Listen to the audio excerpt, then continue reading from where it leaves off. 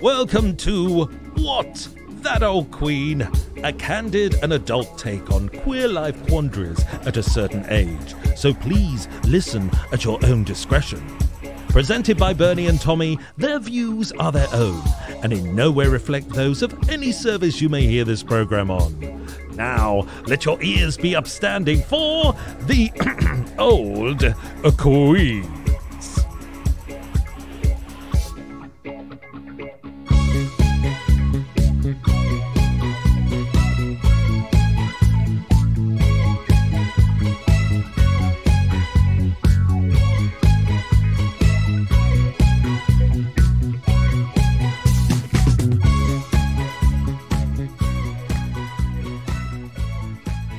Tommy, Hey Bernie, how are you doing? I'm all right. Yeah, how are you? I'm all right.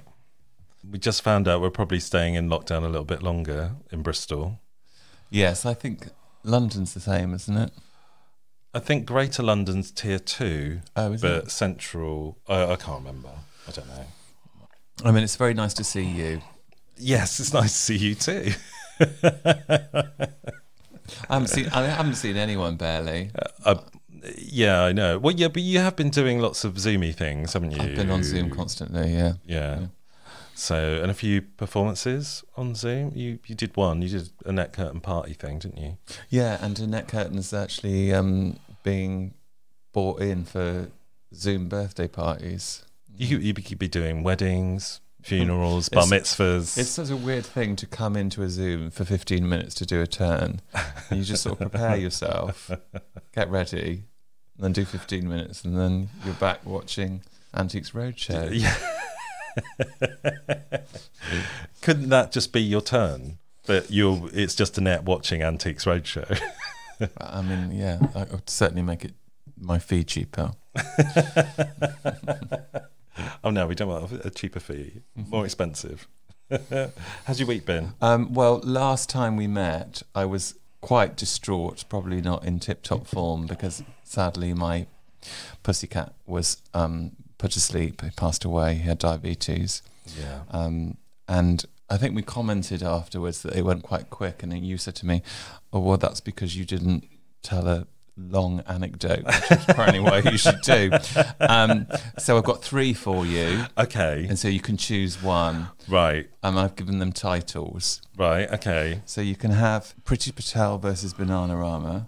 Okay. I'm liking the sound of that. You can have Firemen, Fraud, and Deep Freezers.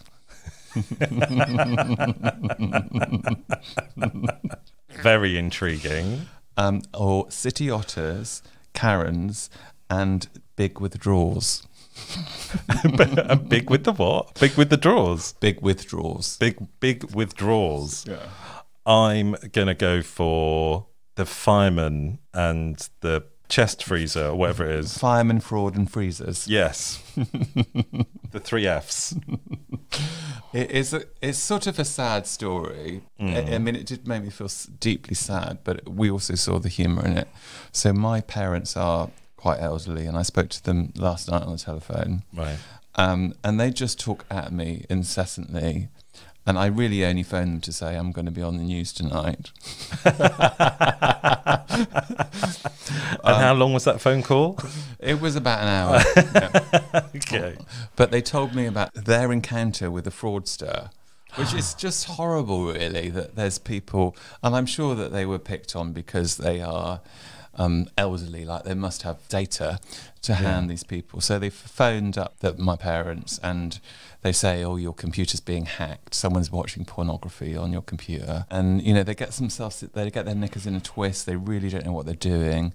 Um, they're trying to phone the bank, but they ended up giving this fraud person their bank details, Oh no. um, and it, they've taken four hundred quid, I think. I mean, they're. They're feeling pretty um, chilled about the whole thing. Really, they, I, th- I think they think it could have got worse. Could have been much worse. yeah.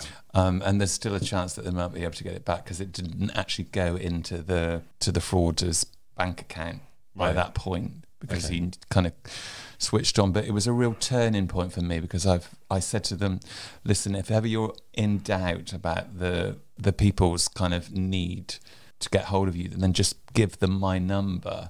Yeah. So it's that feeling of sort of being the adult in that relationship. You suddenly have to Yeah. take responsibility. Yeah, Yeah. I've had all this with my mum in recent years.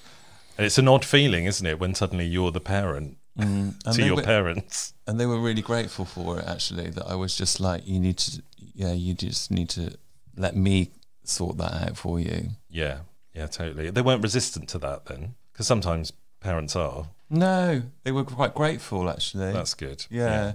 and they see me as a sort of technical whiz kid which is you know if I always see you as a technical whiz which kid. is like completely what i'm not am but yeah, yeah. and um, so that's the fraud part. They were basically describing what a terrible week they've had, Right. And the, they've had fraud, but then it sort of felt like it was even worse than this. Was Right. that they left the freezer door slightly ajar, and so a lot of the food had thawed out. So they were having to eat copious amounts of food before it went out. the fraudster wasn't in the freezer. I don't know. They didn't specify. Okay. Yeah. what, uh, what they've been gorging on Arctic roll and fish fingers all week.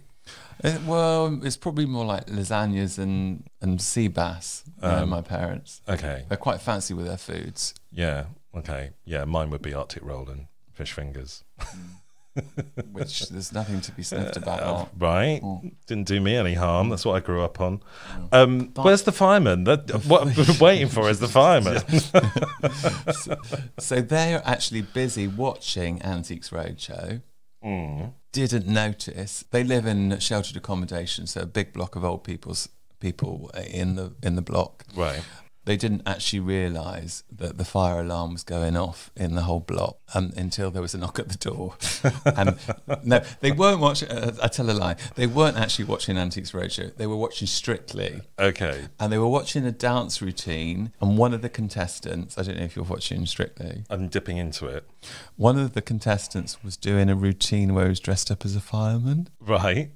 and there was a knock at the door and they opened the door and there's like a troop of firemen and they want to search the house because they think that they've that my mum has left the toaster on And had she? no nobody knew what the hell it was I think I might use that ploy. I could do with being visited by a load of firemen. well, I think you need to move into sheltered accommodation first. Well, I thought that was the plan for me and you. Well, I'm ready. In a couple of years' time, I thought, you know, we're just going to take over that flat of your parents My and, bags are packed. and we'll be looked after. You can actually move in there once you reach 50. So you're in there already if I'm, want. I'm in the zone. Yeah.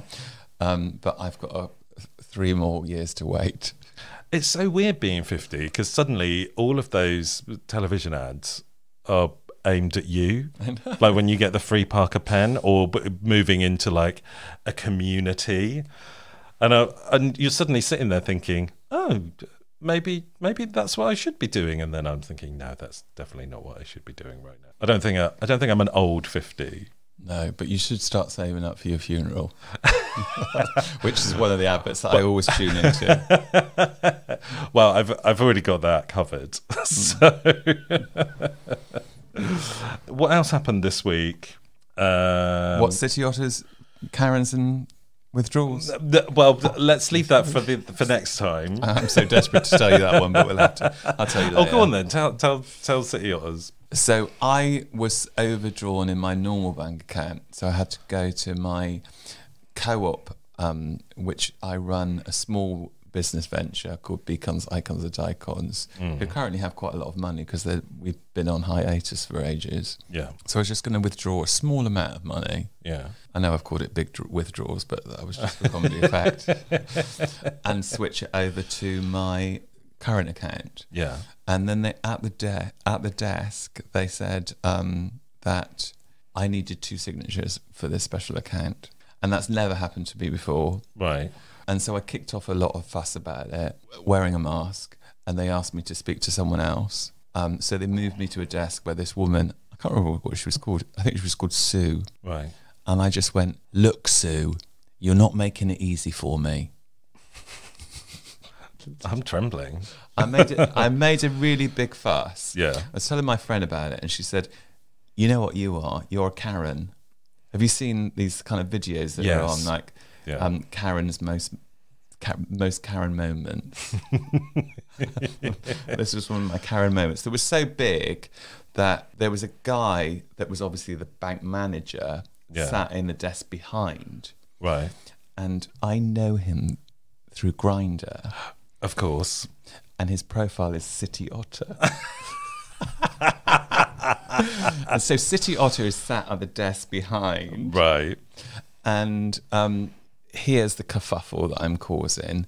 And this woman is saying to me, "But what does your business actually do?" And I said, "Well, we support um, LGBT people and we create like events for them." And City Otter just sort of pipes up from his desk and sort of comes towards us and says, "Sue, do you know this gentleman?" And Sue says, "Yes, I have seen him before because I was in there about a year ago, kicking off because I thought I left a brooch in there."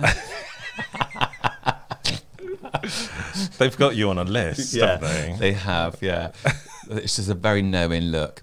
Um, and City Otter just says, um, just let him let just just give him the fucking money. He didn't say fucking, just give him the money. Just give them get rid of him. Um, so that was it, really. Oh, wow. So God bless the City Otter. Cheers to the City Otters. I think he's listening. Oh, let's hope so. And from Do you know that- the City Otters? I don't know them personally, no, But but, I, I'm aware of them. It's just such an incongruous thing, isn't it? Like, it's, I just want to go like, oh, you're a City Otter. How's that working for you? Do you manage to get into any fresh water? Uh, you know, or is it oh. very, you know, living in a very urban life? It must be quite challenging. Might be quite damning. oh dear. Um, yeah, it's odd. It feels like they should be playing sports or something, as they're called, the City Otters. Mm. But yeah, anyway, I mean, I imagine they do play a lot of different kinds of things with balls. Um, I'm sure they do. Plenty of ball games going down in mm. their house. anyway, shall we go from there to Susanne Bartsch? Is that Oh, how you pronounce it? Yeah, I'm glad you said that because I wasn't quite sure actually. What is her heritage? Eastern European. Uh, I thought she was Swedish Okay, yeah, or Dutch. yeah. Yeah. Um, so we watched the film Susan Yeah. Bartsch on top. Yes. What did you make of it? I loved it. It was um, very. Um, well, it's produced by World of Wonder, who do Drag Race, don't they? And RuPaul was in it as well. Like some really old footage of him, as well as him being at a recent kind of event of hers. Where he said um, to her, she said, Are you coming to the after party? He says, No, darling, I'm too old. and she's probably 90, isn't she? Yeah, So- I actually really like the way that she looks because she's not do. You know, you can see her face is old. She's Yeah. had a little eye lift, yeah. and her breasts look brilliant. Yeah, yeah, yeah. But she kind of looks like a beautiful old woman for me. Yeah, and I like that. Mm. I I like it when I, I don't care if people have work done or not, Mm. um, but I quite like it if it's left a little bit real. Mm. Uh, and I think if you're in the public eye, you should do that in a way. Well, you can do what you want, really. Yeah. But she looked great. Well, and that- as long as they get permission from me, obviously beforehand. What they have to say, Bernie, can I get my eyelids done? Yeah, basically, I want my eyelids done. uh, you, you may have that done. what did you think of the film? I mean, it just felt really sad in a way that we were like, because I suddenly felt like I really wanted to get really dressed up and just do an extravagant kind of. Because sometimes people ask me to perform on a stage when they're just DJing in the club. And I actually really love that. Yeah, because she started off in the clubs and wearing lots of fabulous outfits, and then she was a, a designer as well. Uh, I mean, she right? She discovered um, Marc Jacobs. Right. She discovered RuPaul, I think. Yeah, and that uh, that's kind of I kind of feel the same way that it, it feels really sad when we're uh, watching these things and you're seeing all of these big events and it just uh, you, you feel such a loss of that at the moment because of COVID and everything. It's just like, ugh, I really want to be doing that, and it feels like the potential of that has all gone for the foreseeable future, which is also very sad. But it the movie itself was a fabulous kind of celebration of her. I quite liked her relationship with her son.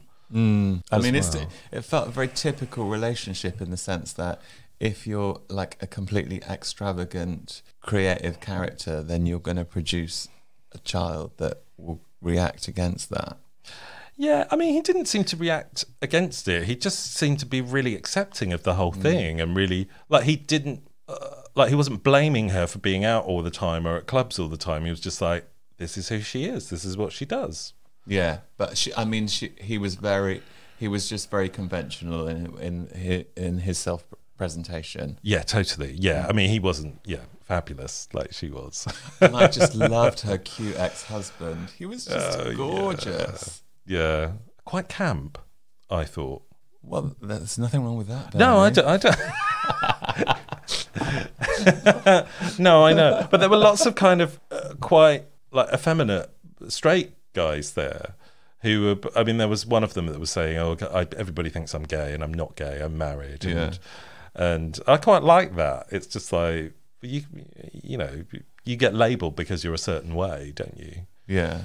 I mean, it was just a it was just a mashup of people that were really wanted to be very expressive and felt quite celebratory in that way. So Yeah. let's hope that we can go back to that. I hope so.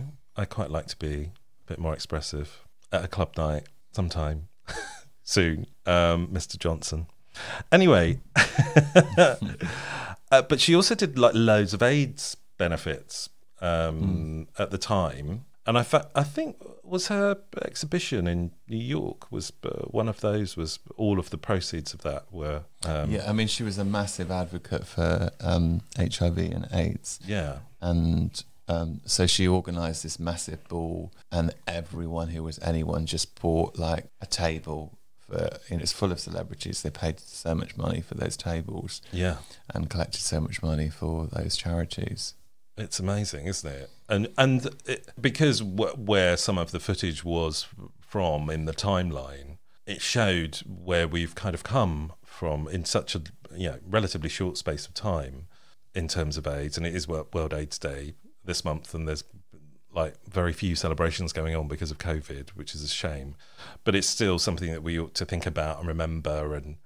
Um, and remember all of those people that have passed, really. And I think that's something that you actually you don't necessarily need a big celebration or a big event to mark. You just can mark it in your head. You know. Yeah.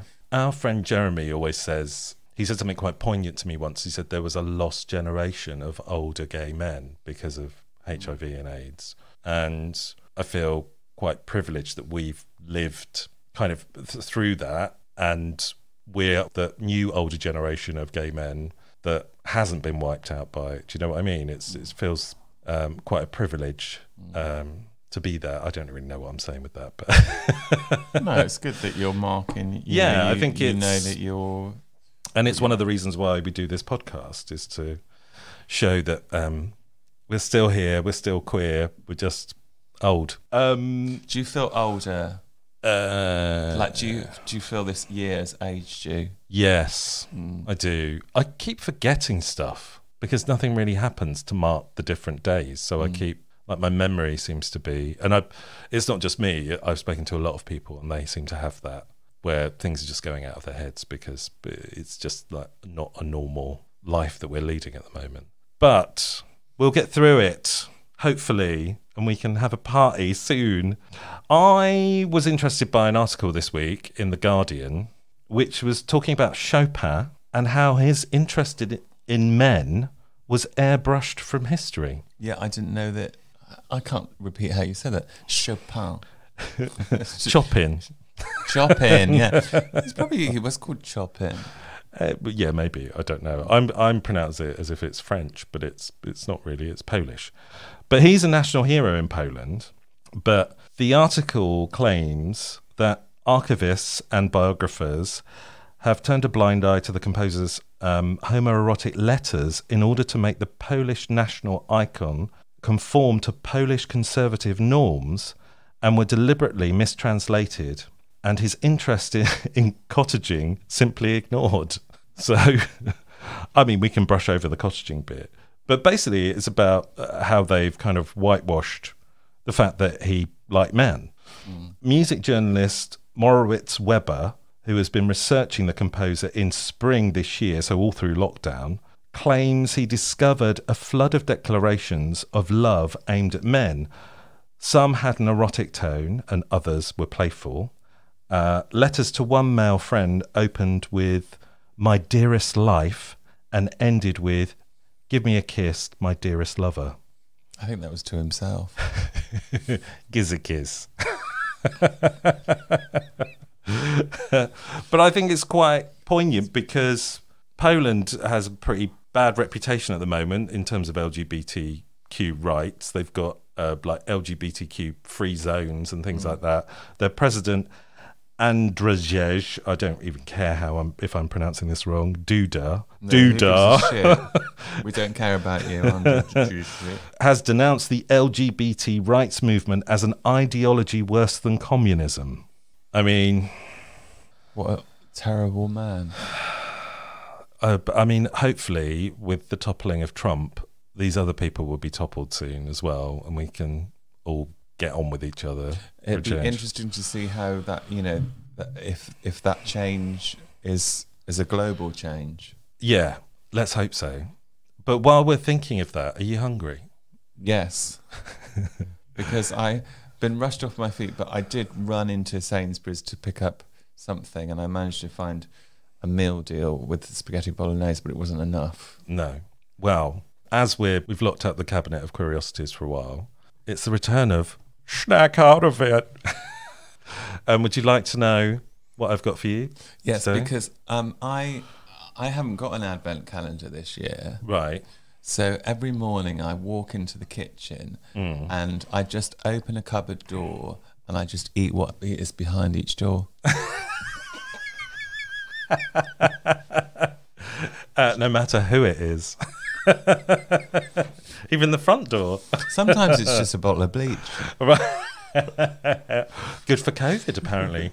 Uh, anyway, um, I thought we'd start where we'd left off because I think the last time we did a snack out of it, we had pork scratchings.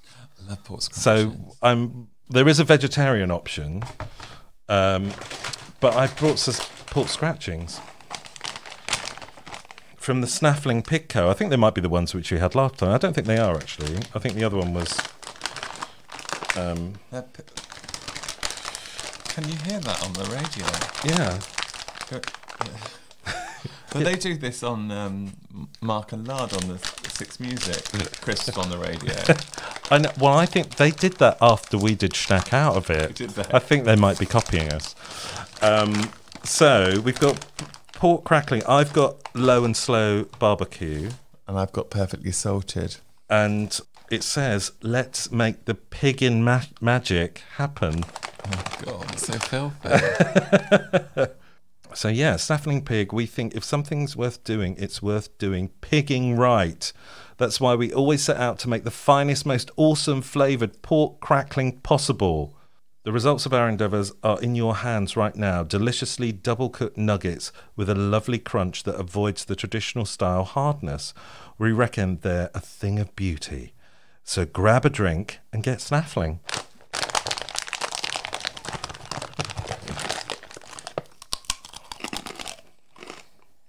What do you think? Not bad. Mm, all right. Do you want to try one of those? I quite like a pork scratching when it's kind of like a, almost hairy. I know what you mean. Yeah. Hmm. Yeah. What's the? I know you don't like barbecue, but they're not very barbecuey, are they? No, they're not. Mm. But I do prefer just the perfectly salted. Mm. Well, I think they're good. I'm glad Um, that you know that. I know. I'm glad that you know that I don't like barbecue. I've given you barbecue stuff before, and you've gone. I don't like it. But I do like a barbecue. And yeah, I know. I know that. So our It seems like you know everything about me. well, we've been doing this podcast for over a year. I think I've got a little window into your mind and your life. Um, so, for our vegetarian option for our veggie and vegan friends, um, we have King's black bean sauce flavored veggie jerky, plant based meat free jerky, high in protein, vegan friendly snacking. So let's now we've had the dirty pig. Let's have some clean And is it healthy as well? Uh, yes, it's high in protein, so I imagine it's. Oh. It's not exactly quite rubbery, it's not. Mm, it's kind of brown and rubbery. It's not a, an awful taste. Are you watching I'm a Celebrity? No, I haven't seen any of it yet. There's a lot of eating of different objects and things and creatures. Right. I'm not sure how I feel about the treatment of animals and their Mm. um, what do you call it? Things that come out of them as kind of just purely entertainment. Right. Yeah, yeah, yeah. I mean, I think this is a bit more highbrow. What we're doing. Yeah, obviously. Well, I don't hate these. But I prefer the pork scratchings. I, like you, prefer the pork scratchings, but if if I was desperate, I'd happily eat plant-based meat-free jerky. Um, I just wish it. I guess we've we've done the wrong thing because we've gone from something which is quite crunchy to something quite chewy. It's like if you have um, a dessert and then you go into a full-bodied wine.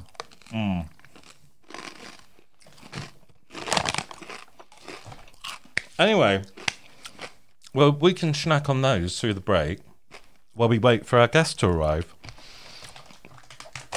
who is. Da, da, da, da, da, da, da. Can we do it in a French accent? Yeah, I don't know why I feel like it, but I just want to do uh, Jo Bannon. Jean Benon. What does Bannon mean? Um, I don't know. We'll have to ask her when she comes on.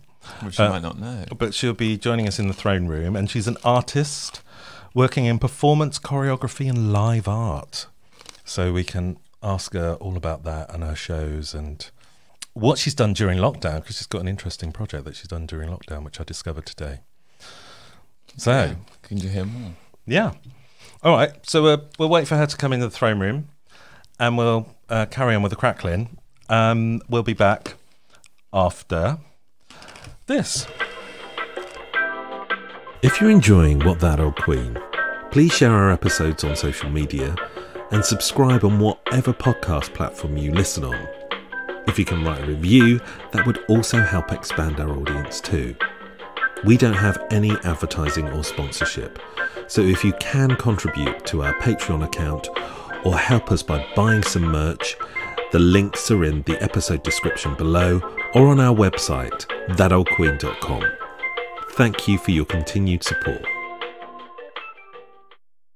Okay, so we're back and we have a fabulous guest. We have Madame Jo Bannon. I was just wanting to say your voice in a French accent. Oh, go on then. Well, Jo Bannon. Ben non. Uh, oui, ben non. Is it French? No, it's proper Irish. Oh Bannon. yes, I think uh, yes, I remember. But you know they have, they've got links with the French, right? I mean, Brittany, who, hasn't? right?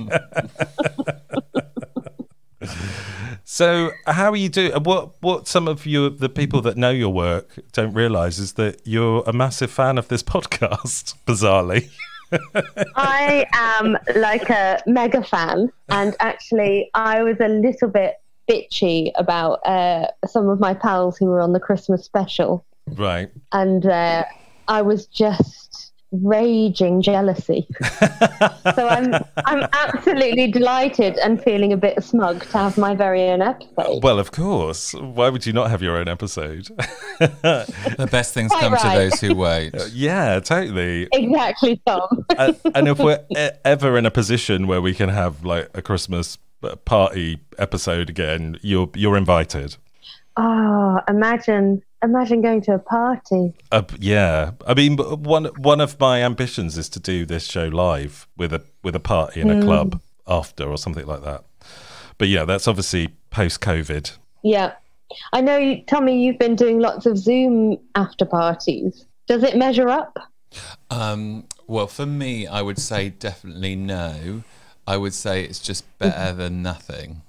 Zoom, I Yeah. don't feel snobbish about it. You know, a lot of people are saying I don't like I don't like performances on Zoom, or I don't like online performances, I just feel like you know we've got to have something. Yeah. Zoom is slightly awkward. I mean, it's different in this kind of situation because it's a bit like having a phone in guest, but we've all had to come to grips with it, haven't we, during COVID times? And it's still a bit odd. And we've we've all realized why video calling didn't really take off beforehand. It's true, but I I think fundamentally it's a bit awkward. And then I don't know about you, but I've definitely been returning to a kind of teenage social awkward state because of the lack of regularity of social occasions or that you don't bump into people you have to arrange everything so i just feel like i'm being so awkward all of the time and then it's mitigated through zoom that it's Yes. just a car crash yeah. Well, I think every, it's every curling yeah, everybody feels the same way. I think I know I do. Uh, Jo, it's brilliant to have you on the show. I've known your work as a performance artist, live artist for years now. And I don't know how long I've known you, but it felt like at the beginning of when we knew each other, you didn't put your voice within the work as much as you do now. Mhm. Would you say that's true? yeah for sure And recently, we've been in a, a publication. I can't remember the name of the title of the book. I've been trying to find it. I've been scouring my flat. I think it's uh, in other words or in other In voices. Other Words, In yeah, other words. In yeah. Other Words. yeah. yeah And there's this most beguiling picture of you dressed as a saint. Um, yes saint lucy Tell us about Saint Lucy. So, In Other Words was a publication put together by Kate Marsh, who is a choreographer and artist and kind of disability advocate. And she contacted a bunch of us, I think quite near the beginning of lockdown 1.0, about contributing something to this book. And it was a, quite an open invitation. It wasn't explicitly about lockdown or about COVID. But at that time, I was quite obsessed with. Do you remember that brief moment where everyone was doing reconstructions of films or images, but in their domestic homes? Yes, I did there a few a- myself. Oh, did you, Tom? Oh, I didn't. I didn't see yours. I'm going to Google that later. Well, go back on Instagram and you'll find some. okay, okay. I even And, did. um, I even did Anna Wintour working from home oh, you're such a good Anna Wintour. because Of uh, course. the, the listeners cannot see, but Jo, the backdrop is a book uh, is a bookshelf, and that was I know. And Anna Wintour sort of was the one that really put that as a thing right at the beginning. If only she'd had her wardrobe, that would have been much more fascinating. oh, yeah, Unlike um, Jess Phillips, who uh, or Phillips, the Labour uh, MP, who I saw her on the news quite near the beginning of all of this, and she was in the most messy living room I've ever seen, and the angle was basically under her chin, and her ceiling was a bit dirty, and I just thought, I secretly love you for the lack of care you've taken on this image. but that's what my parents do. They're just zooming in on like my mum's saggy breasts or like my dad's crotch. That's like that's what they see. They, they, they can't seem to see it through. But we're They haven't worked on digressing. their. We're digressing. We want to know about the image. We're digressing, Yeah. yes. Um, so I guess I was thinking about, I mean, I was quite resistant to making anything at that time because I felt like, let's chill out, guys. Let's just have a pause. But I was thinking about resilience, and I guess a lot of artists that I knew that identified as disabled were talking about feeling quite under siege. I mean, this was the time when there were conversations, which I think we've slightly forgotten, where there were conversations about who would get a ventilator and if the NHS got overwhelmed, what judgment we'd make on which lives were worth protecting. So I felt in quite a fuck you kind of mood. Yeah. And so, uh, in a sort of strange response to that, I made this recreation of a portrait of St. Lucy. So I grew up in kind of Irish Catholicism, and I think that that religion's take on image making and what an image can do what kind of meaning it can have is really I mean, in some ways, I think it's why I make theatre or the kind of theatre I make. And St. Lucy is always pictured as if she's real, painted with either a plate with two eyes on it or with her hands in front of her with two eyes painted on the hands. And I was just really fascinated by this image of her. So, St. Lucy, when you're um, growing up Catholic at about nine or 10, you do your confirmation, which is a, a ritual where you get to choose a saint's name to, t- to add to your own. And when I was nine or 10, I chose St. Lucy based on the story that they tried to marry her off to some pagans or atheists or whatever, and she wasn't having any of it. And so they tried to burn her, and she just didn't burn. And then they tried to burn her again, and she just didn't burn and they tried a third time and she still didn't burn and so in the end they just had to run her through with a sword knowing you it sounds a lot like you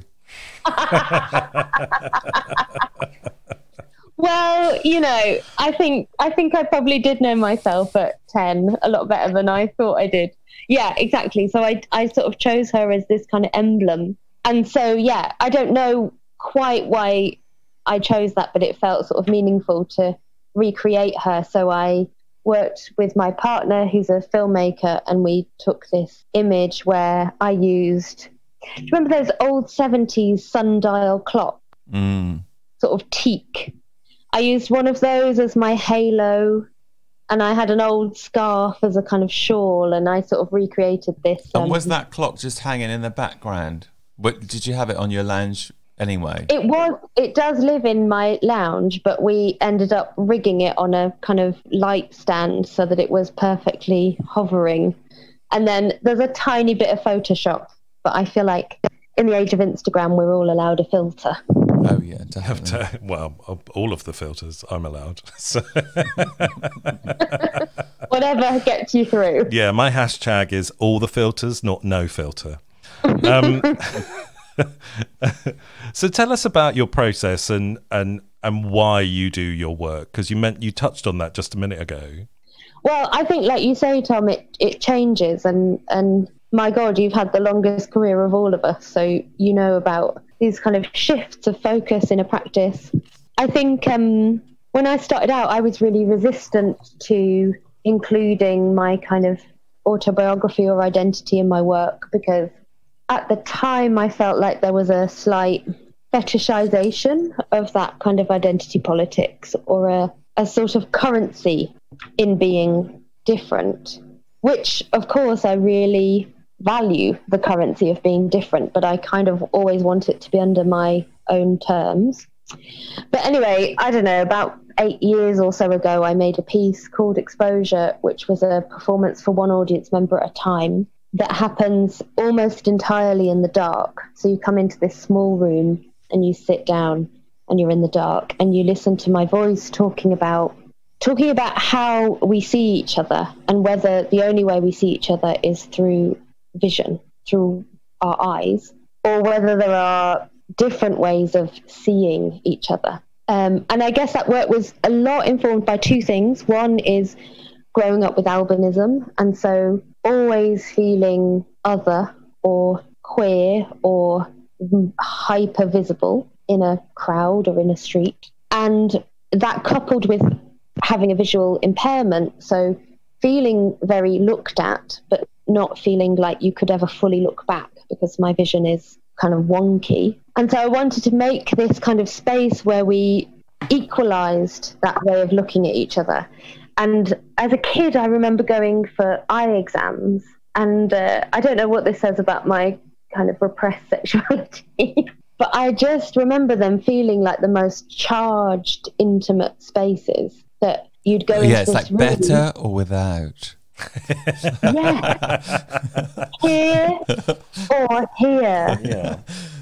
And they're, you know, the, the person doing the examination is they're almost brushing your face with that torch, or they're you can so hear, kind you of can feel their breath on you. Yeah. yeah, yeah, and they are fundamentally okay through a medical lens, but they are trying to look inside you or see you. And um, yeah, I found that a very kind of charged, potent kind of space.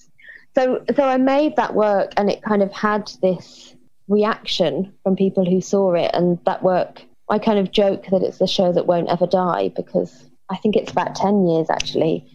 I'm still touring and showing it, and I saw that Yeah. show quite early on in its in its uh, evolving, and we had quite an intimate experience at the end. I don't know if you remember this, I do. I think I do. but you. Uh, so there was a lot of about your childhood, and there was images. As I recall, there were images of you as a child in in mm. the show, and then at the end, you just leant over and we held hands. And after the show, I think we were in the bar or something. You said, "I don't normally do that," but I just felt compelled, and I was really pleased that we had that moment because it was just lovely. Um, and the second thing I wanted to say about it, which is just bringing it back to a really prosaic level, is like I remember buying some lights, lights for my bike, and I was asking the guy like, which are the best lights to buy, and he said, well, that depends, of course. Do you want to be seen, or do you want to see? but it was Very like, profound. Oh my it God. was so profound, but also really prosaic. Yeah, yeah, and of course, the the kind of huge rub is that often, if you want to see, you have to be seen. So if you know a, a big thing, I don't get it quite so much anymore, but a big thing I used to get was people asking to look in my eyes. So my eyes are a kind of purpley, pink, blue, grey. They kind of change in colour, and sometimes you just clock someone just looking at you in in just a slightly weird way, and and this rev- realization that they were trying to look at your eyes and so that's a kind of conundrum because uh, like you can tell i'm quite a not confrontational but I, I, I try not to take any shit Do you have a strategy for to, to deal with that? well it's yeah that's the difficult thing because my actual strategy would be to stare at them but that's kind of giving What them they what want. they want Yeah. yeah, yeah. So I end up, I've been watching The Crown lately, and I realize, oh, I do a sort of weird Lady Di, where, where I kind of look down, but it's not, it's not, it's not intended as submissive, but it's like you don't get to look at me in that way. But of course, we can never control how how we're looked at and the kind of interpretations that people make of us. Um, so yeah, often that choice about whether we want to see or be seen is it's both and it's both all the time. Yeah, Yeah. totally. Uh, uh, It's also wondering what the motives are for people looking at you as well, isn't it? And and whether it's a positive motive or a negative one. Um, Yeah, and then Yeah. we have to rely on our own insight to work that out. Of course, we haven't been seen very much by people uh, this year because of lockdown. True, so true. you've produced something during lockdown called Absent Tense. So tell us about that. Yeah. So, um, having said I was kind of resistant to making anything during lockdown, I immediately uh, went against myself and did. Um, I made a piece called Absent Tense, which was a, I guess I would call it an audio essay, but you could call it a series of short podcasts. It's my voice, and and it also exists as a, a text publication. And I was invited by Home, which are a venue in Manchester. They had a series called Homemakers that was about work that you could make from home. And of course, me and Tommy live in the live world. We live in theatres and rehearsal studios. And so it was a kind of provocation about how you might make work now. And at that time, so lockdown was happening, and my world, as all our worlds, were completely changing. Yeah, and I was constantly thinking about absence. And uh, there was a guy who was talking on Twitter. He was kind of talking about Zoom, actually, talking about how awkward Zoom is. And he said something about he could deal with the absence, but what he couldn't deal with was the presence of our absence. So something about What does that mean? well, I took it to mean, and I sort of have this relationship with friends. If they go away for a year, I'd rather they just go. And when they come back, we'll have a big catch up over a bottle of wine. What I find more difficult are these kind of um, video calls, or uh, it's almost like those phone calls remind me that you're not here, you're Yeah. not present Totally. you, I'm dealing with the joy of seeing you, but also not really seeing you. Mm. And I feel like that's what we were all experiencing in the first lockdown. And that huge uncertainty about whether that would ever return. And then I guess the other huge thing I was dealing with was my dad was very, very sick, and we knew that he was dying, and he has subsequently passed away. And he was having complications from his cancer treatment, which meant that his breath, his breathing was becoming really irregular. And he started doing this thing where he would effectively stop breathing for a few seconds and then sort of pass out and then quickly kind of come back. So he's having these kind of fainting fits or absences. Yeah, so I, I, I started thinking about what it is to reckon with absence, like we were all doing, while still being present, still living. So my dad was, in these moments, it felt like he was dying or dead, but then he'd come back. And life was still carrying on, but we were at one remove. So I made, I basically wrote these 12 chapters or episodes about absence. So it touches on those kind of themes. Yeah, I guess I was interested in the the presence that absence can have. That absence isn't a negative void, a lack of something. It can feel really full, Mm. almost too full as an experience. Having you here, Mm. you know, you're just perched on Bernie's laptop on my dining table. I go from tricking myself to think that you're actually sat at, at, at that chair. You mm. know, it does feel like you're in the room, but then I remind myself that you're not here. That's what I mm. wanted to say in response to that. But also, I, I wondered if you caught the Split Britches show that they premiered from New York last Friday called The Last Gasp Oh which no, is all I about heard. it was all yeah. about the last bre- breath really because it, they were making this show anyway before covid um, Mm-hmm. because it was basically they thought that it might be peggy shaw's last show because she's getting really old now and she can't remember lines and uh, you know she has some health problems um, Mm-hmm. but then suddenly everything seemed to be about breath you know they were actually strangling people the police were strangling people Yeah, uh, yeah. you know it was just like it, it, it was everywhere really and that i think is something that happens when you make art is you suddenly see these these connections that run through life. And it Mm. that's like it sounds like what you're talking about really. Yeah and i think i think it you know the kind of joy i find as an artist is a permission to think laterally like horizontally about things rather than linear. Yeah. So you can start thinking of subject and start sort of riffing about the the different things that that reminds you of. And i yeah i often don't you find that that there's often a i don't like this term zeitgeist but but maybe a group of artists or writers or thinkers might have tuned in to a certain kind of rumbling that's already that's already going on because no one could predict covid but i think what we could predict is is that this idea that health is distributed equally is false that health is not implicitly tied to economy. I mean we know that really now to be true. And we might be approaching the time when testing becomes you know you might need a test to get in or do certain things and you might have to pay for that that the that your prospects of health are directly linked to wealth. And i think these things were true all along.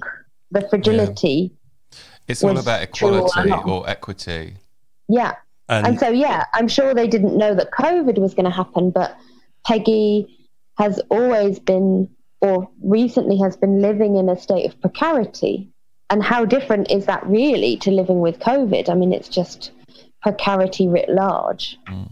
yeah, it's it's exposed so many things. This pandemic, hasn't it? So many things, like the whitewash of our society, in so many ways. yeah yeah it's it's uncomfortable isn't it Um, yes, in more ways than one.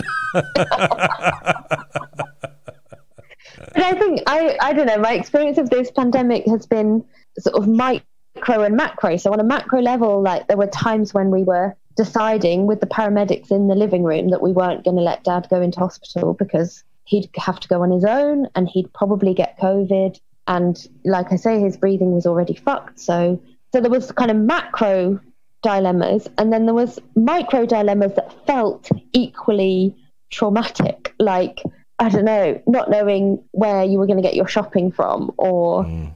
yeah, that idea of uncomfortable. It's kind of uncomfortable on a global scale, and also uncomfortable because you have to sit outside and get cold and yeah, these things are kind of closer than we think in their experience. A kind of big catastrophe is quite similar to a small catastrophe in a weird way. Yeah, and then having all the catastrophe levels all the time. just makes you go a bit splat. yeah, for sure. Um, I mean, I, I did really enjoy your podcast in those early weeks because, um, yeah, it just felt so uh, collegiate the word like friendly. Just two pals. It felt like a time that might be over where you could just hang out. Yes. Yeah. Well i think uh, it's it's really bizarre but thinking back to those shows because i think both you and i tommy were having quite a difficult time well i was outside of recording that weren't we? My some of my friends never listen to the podcast. It's nice that you do, Jo. Um, uh, and they just say, "What? Well, why would I? Because I can access you whenever I want." But they they started to listen to it during lockdown, which was quite nice. yeah, yeah.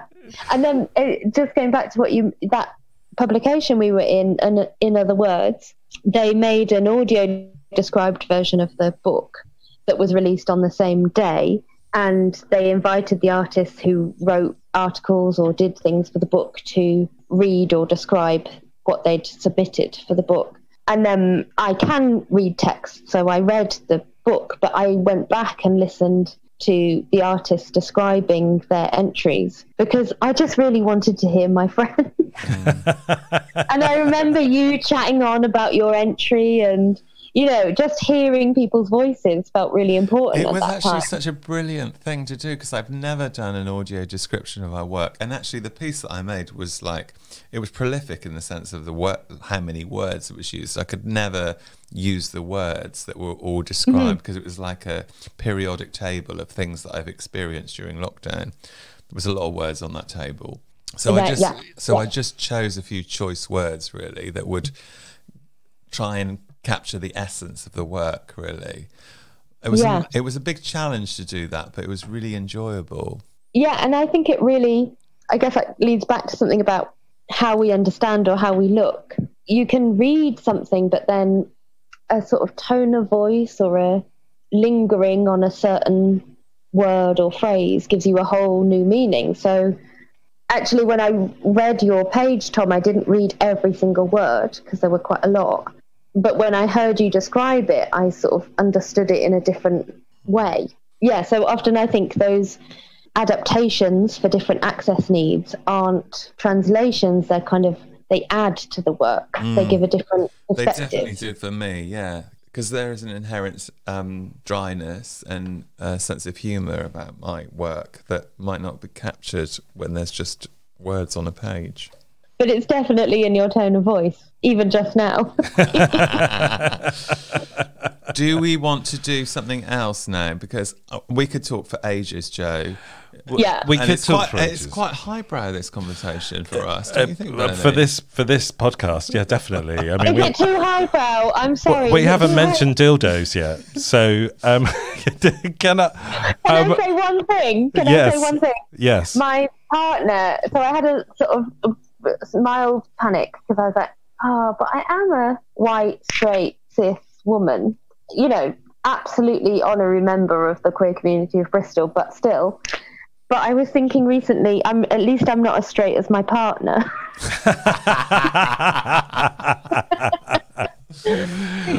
um, so we just got uh, a puppy, uh, a little sausage dog, and uh, it's quite a weird thing that's happened where we've slightly, well, we started calling each other mummy and daddy, which was really weird. Mm-hmm. You know, like you go to daddy, daddy's got your treats or whatever. And um and then Bernie gets that all the time. Had, yeah, yeah. So I was sort of but I think I'd much rather be called a daddy than a mummy somehow. I always say that I'm a mummy because I have a, like a, a, a whole collection of young queers that I try and look after in the best way possible. Oh, that's true, Tom, and you're a really good mummy. I feel like you drinking your wine in that jumper just you're just like the the mum I, Busy mum. I wish I'd had in the 80s. Yeah, busy mum. But Jo, Um, it's, it's but yeah, interesting so- you you saying about. Uh, I I think in terms of your own identity, I think you we share a lot. You share a lot of things with the LGBTQ plus community because you've experienced it as well. You know, you're living on the fringes of society and outside the norm. So, I think you're a very welcome addition to the pantheon of the throne room. Well, it's it's an honour. It's an absolute honour. I mean, yeah. So I was basically we got into a conversation about pup play, and I realised that John had no concept of what that was. and then I thought, oh, maybe Did you I show him some videos? Did you show him some I was videos? like, we're do- I was like, we're kind of doing it now. Like, look, I'm being a pup with pup. Tell him to just listen to the Anyone podcast. to reading list, Tom? yeah, yeah.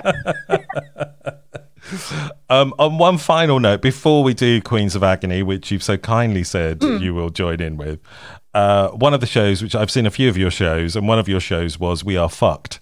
Um, I'm wondering, is that a premonition of COVID?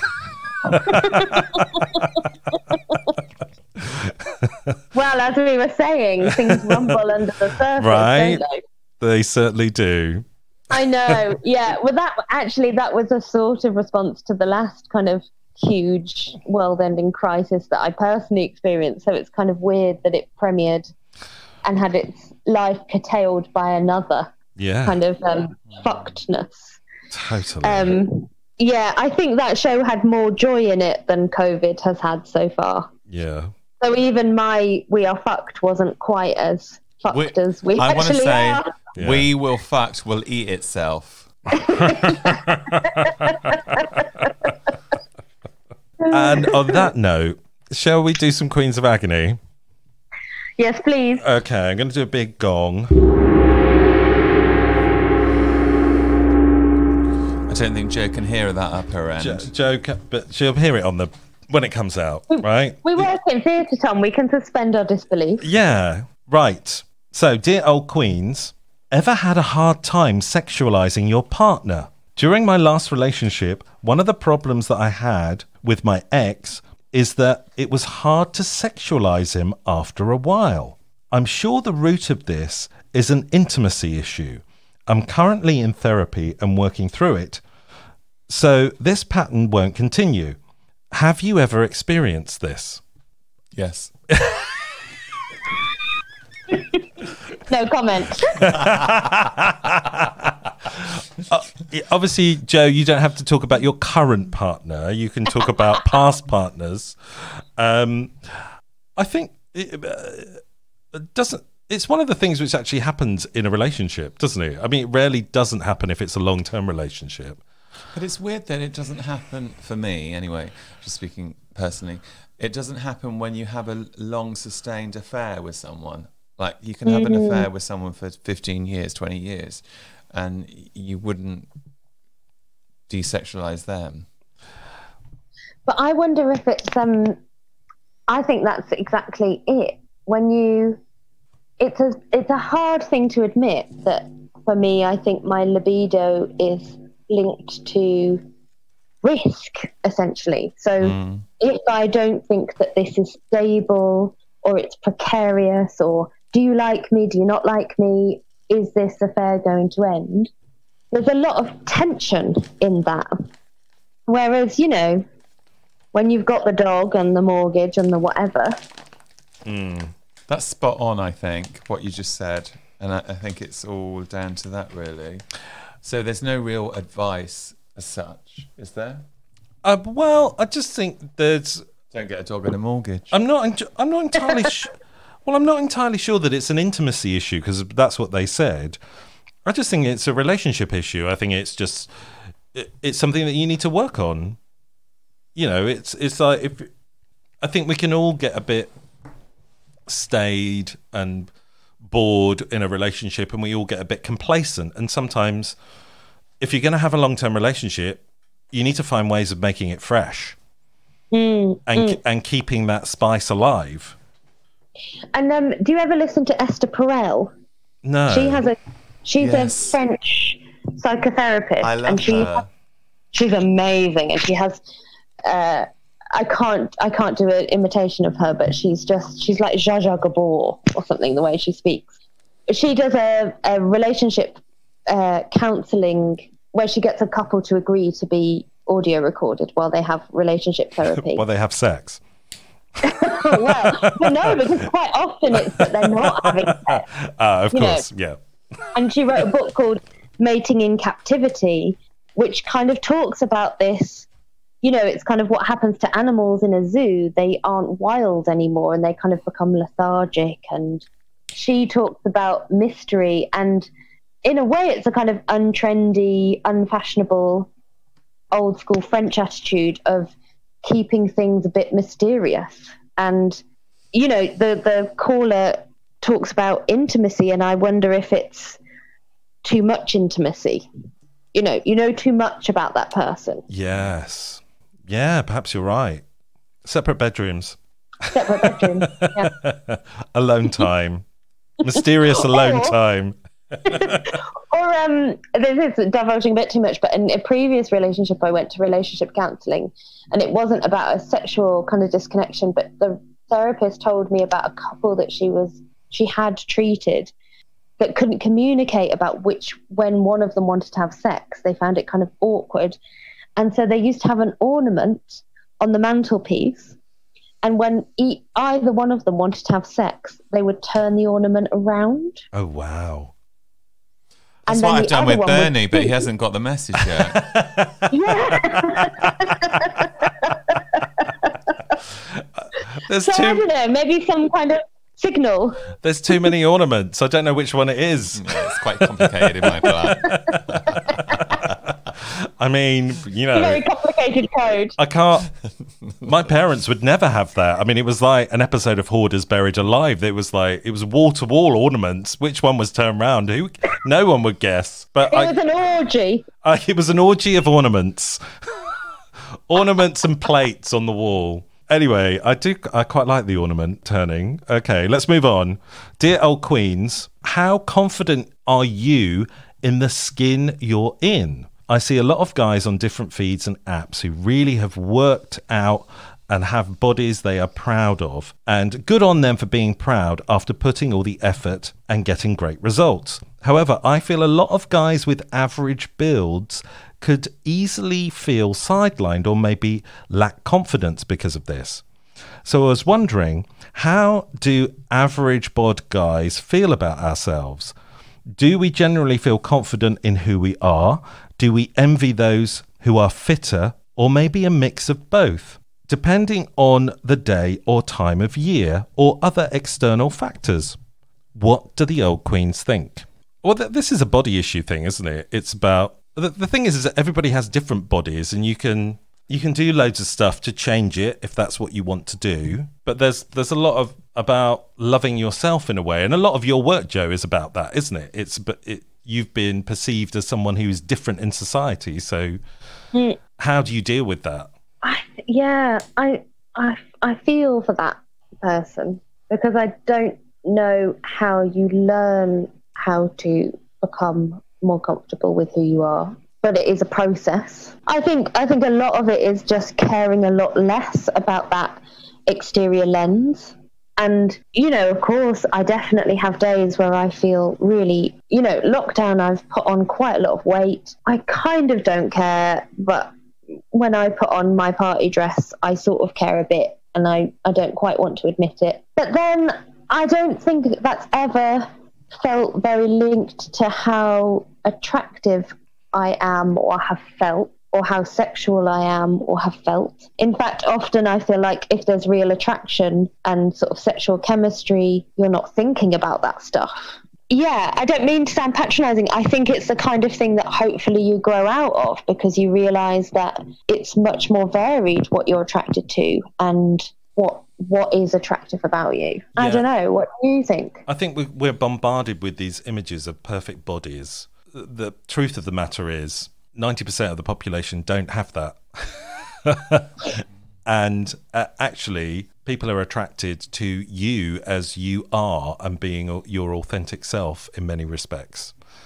Uh, and uh, I think about all the people that I've had relationships with and who I've dated, and it's I don't have a t- particular type that I go for. It's a certain je ne sais quoi about a, a person which I'm attracted to. I don't know. What do you think, Tommy? Oh, Well, I have this weird thing with my body, and it might be particular to my body. Like, because I like to be, I like to stay quite lean with a flat stomach, and that's my ideal situation. But when I have reached that, like, and it's probably not other people's ideas of what a, a good body or an attractive body is, but it's mine. But my face looks not so good, you know, because I carry, I, I, I look better with a bit more flesh on my face, and I look haggard and tired when I've been to the gym a lot. But I'm happy with my body, so I've just got this sort of di- constant dilemma between whether I choose my face or my body, which is, I think it's something to do with being over forty.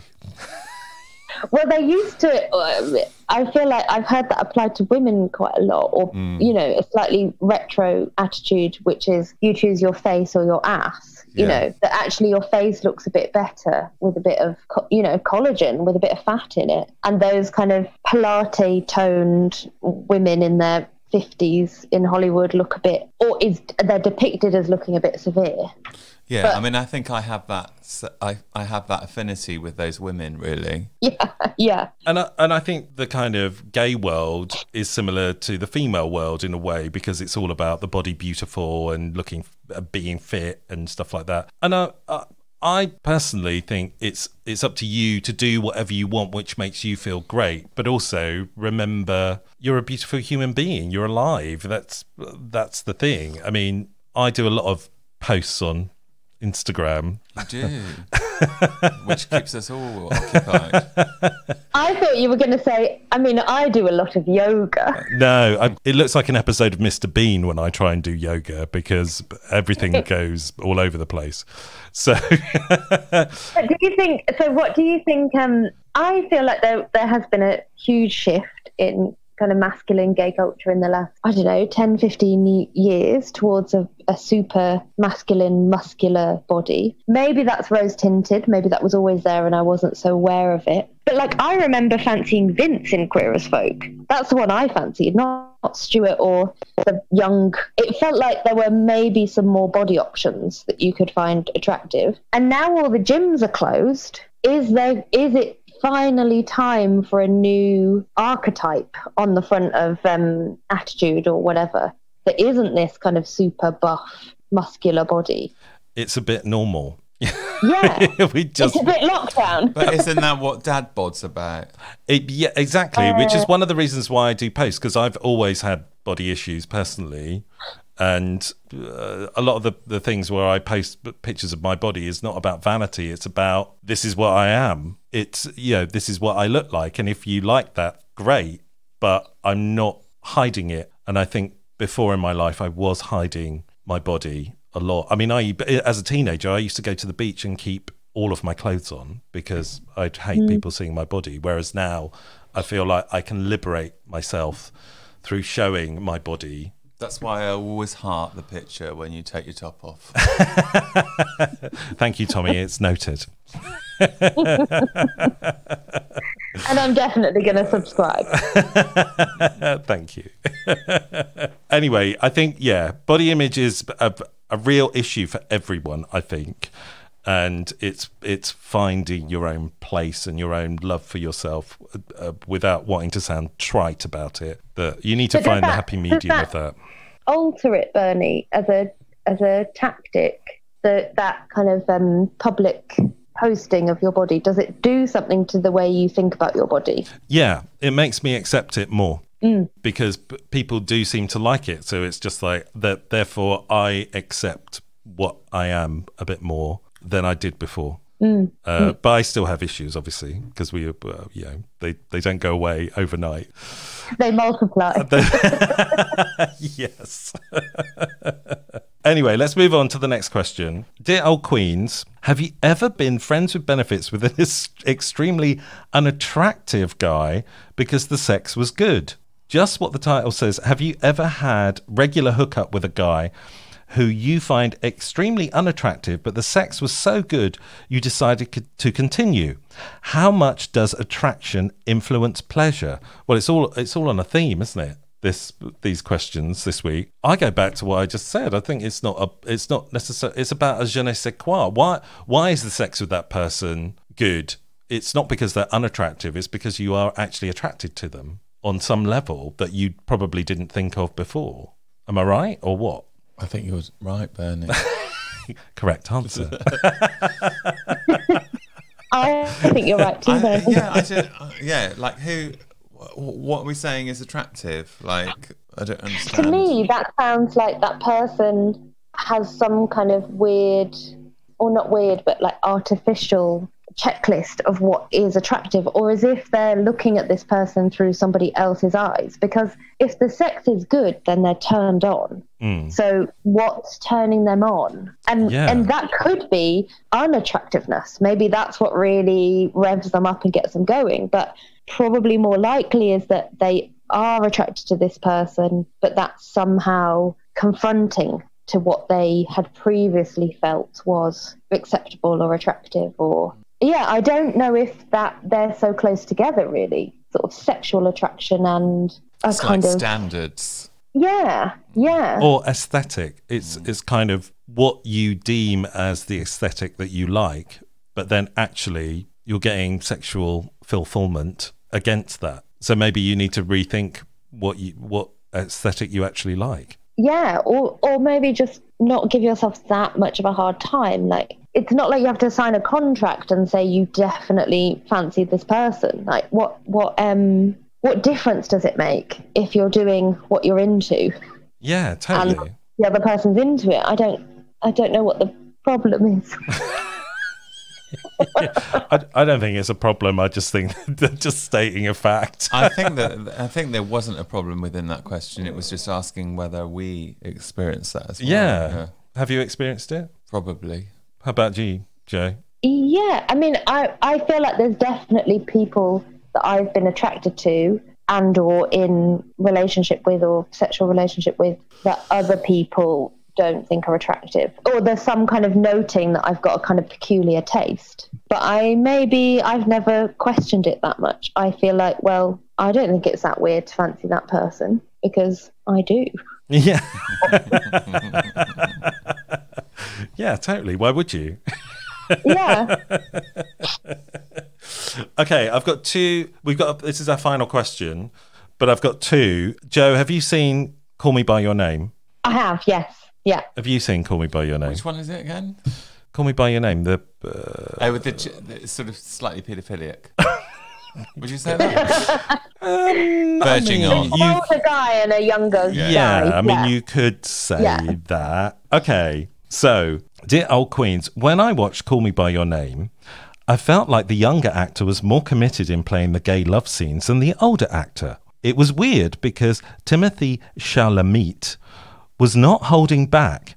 He was shoving his tongue down Armie Hammer's throat whenever he had the chance, while Hammer seemed uncomfortable. If Hammer's character is more experienced, shouldn't he be the one more for it? I don't know if it was written that way or an acting decision mixed with gay panic.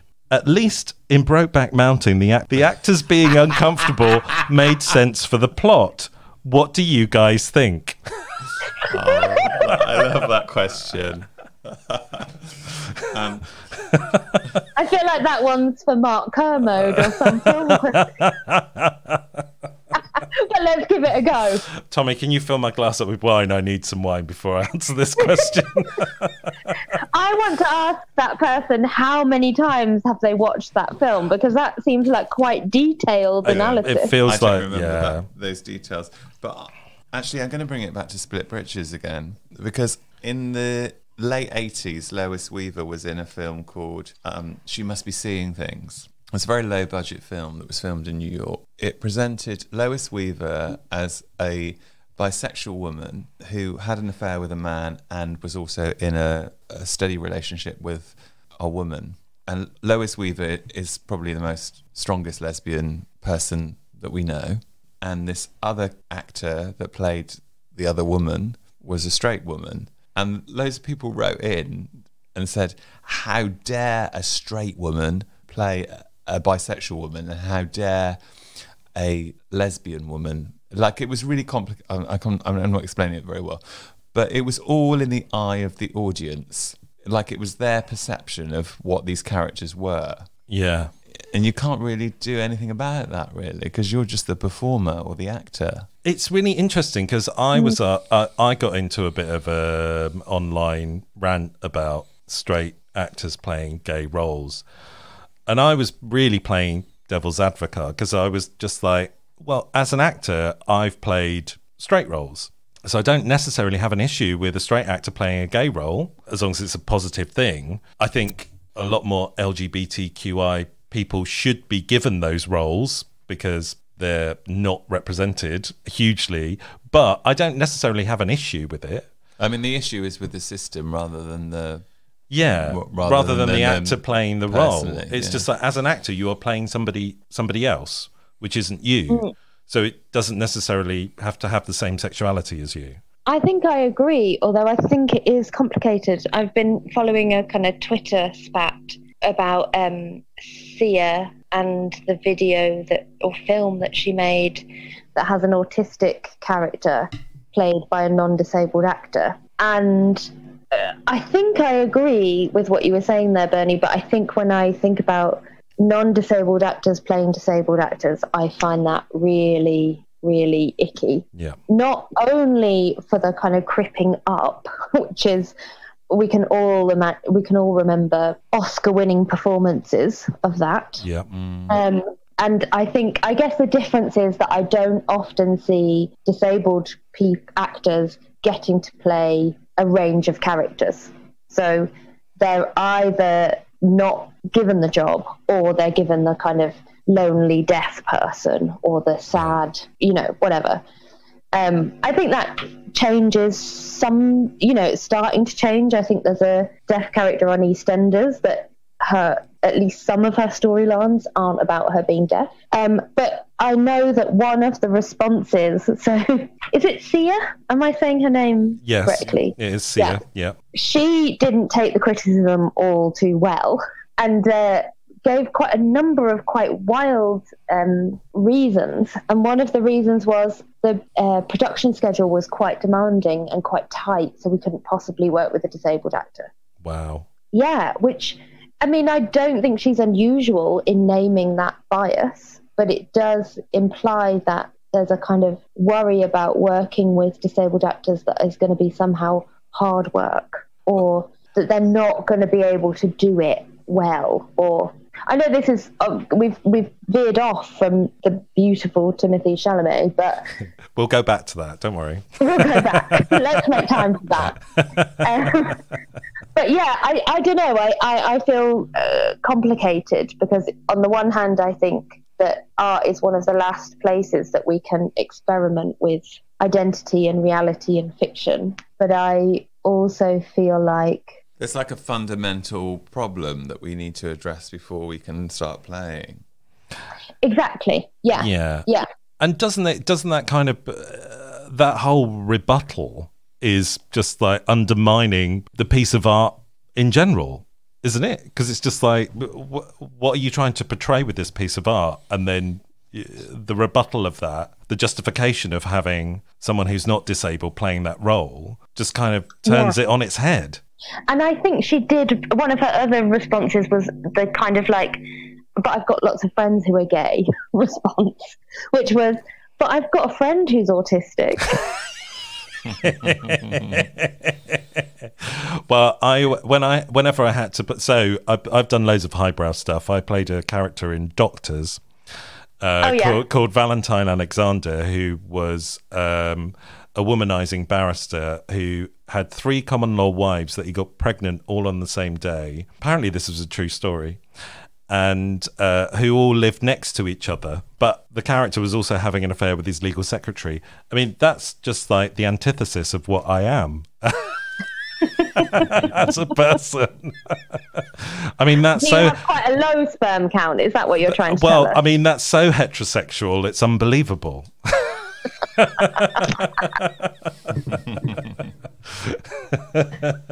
Yeah, but I, I suppose that's a kind of question about punching up or punching down, isn't it? Well, Yeah. No, maybe I regret saying that because I. But I do can know lots of straight people but- in my defence. Yes. I have read a few books by straight people, so I think I know how they think. my parents were straight in my defence. Well, loosely. Um, but I, going back to the the film, Call me by your feel name. like, um, yes. Yes, yes. Um, I thought that in that film, I mean, let's think about how we approached the vigor of sex or kissing when we first became accustomed, because I was into it, you know, yeah, totally. in a way that probably I've never been since, you know, in a, and I feel like that younger character is just so overwhelmed by this physical sexual connection and i thought that the character of the older guy was supposed to be much more conflicted about that because he has the burden of of kind of power and responsibility as the older guy And and, he- also i think he goes off and gets married doesn't he He goes off, gets married. He also has a girlfriend in the village. So he's playing it straight, even though he's gay. So I think that's all. I think you're right. I think it's all part of his character. But saying that, if I had to kiss Armie Hammer in a scene, I'd do it with as much vigor, I think. i if i had to kiss timothée chalamet in a scene i would also give it some welly Well, of course. well, either of them. what about you tom Well, I just want to say, like, isn't it amazing that someone's bothered to write to a problem page with this issue?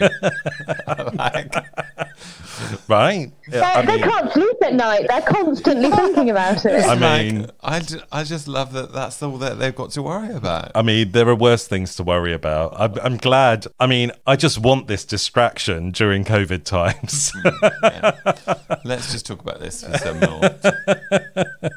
Me too. I applaud this question. oh, Jo, thank you so much for being on the show. It's been wonderful to have you, and we look forward to a Queermas Quandary with you, hopefully sometime soon. It is my ultimate honour. I feel like I can die happy now. Thank you, old queen. You've been a fabulous guest. You've been brilliant. You've been amazing and uh, poignant and insightful and uh, Slightly highbrow. Very highbrow for us, which is great. Um, hopefully, our highbrow audience will increase. We can lower the tone later. Well, we always know how to do that. anyway, Jo, um, please say goodbye to our lovely audience. Bye, lovely audience. Lots of love. and Tommy, say goodbye. Stay horny, stay safe. Safe. Stay horny, stay Safe. safe. Great. Yeah, I didn't stumble on the horny. You never stumble on the horny. We will see you next time on What That Old Queen.